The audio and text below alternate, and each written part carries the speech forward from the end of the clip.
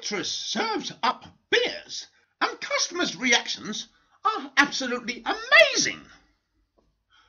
A waitress named Shannon from Maryland decided against the bar's normal uniform and decided to go for her own unique look instead. When customers at Lee's Landing Docking Bar in Maryland popped in for a cheeky afternoon drink, they were just expecting a nice relaxing afternoon and a few laughs with their pals. But when they arrived, they were greeted by something a bit odd. A naked waitress. Instead of wearing clothes, the fact is that Shannon was serving up pints of lager wearing just body paint disguised as clothes.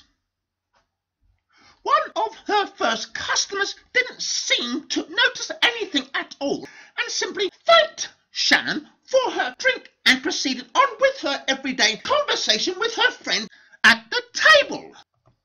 But not long after, people started to notice that something about Shannon's demeanour was different. And shortly after, she became the centre of attention. And some of her customers' reactions were simply hilarious. One man whispered to his friend, That girl's got no clothes on. Another joked to her, It's pretty hot out. When quizzed by a table full of women, she admitted her outfit was painted on and they could be seen laughing.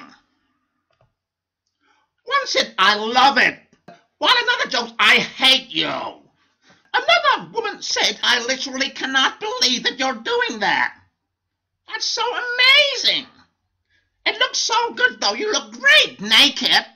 Sharon also had her photo taken a lot. Countless people stopped their meals to ask for selfies and pictures with Shannon, and she happily agreed to do so.